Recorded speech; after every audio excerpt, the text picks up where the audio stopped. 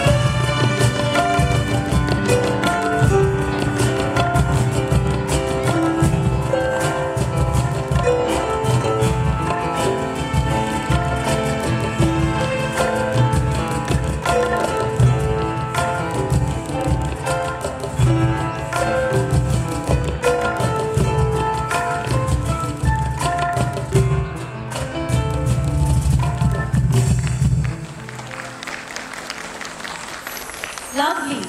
Now we'll have once more Mohini to present her